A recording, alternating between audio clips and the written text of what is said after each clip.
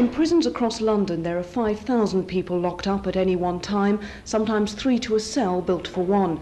And that means that up to three or 400 prisoners could be forced to spend days and nights in police cells every day of the week, awaiting trial or starting sentences.